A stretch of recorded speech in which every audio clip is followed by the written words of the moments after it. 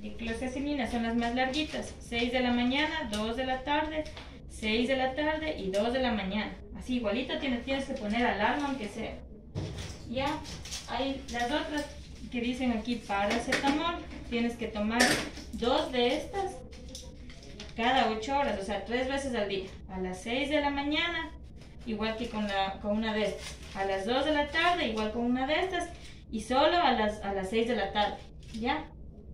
Y también... ¿Comida o después? Después de la comida. O antes de la comida. Como es de las 6 de la mañana, ¿qué sabes desayunar? Ya, no importa. Entonces, antes de la comida, ¿ya? Pero tienes que tomarte, sobre todo el antibiótico.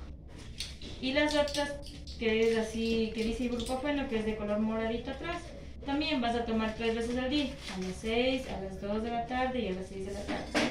¿Ya? Estos son los antiinflamatorios, para que no, te, no sientas dolor. Y este es el antibiótico, que es este. Pero no te olvidarás, si no se te puede infectar, ¿no ves que era una arteria que estaba abierta y se volvió a unir? Pues tienes que tomar esto. ¿Ya? Gracias.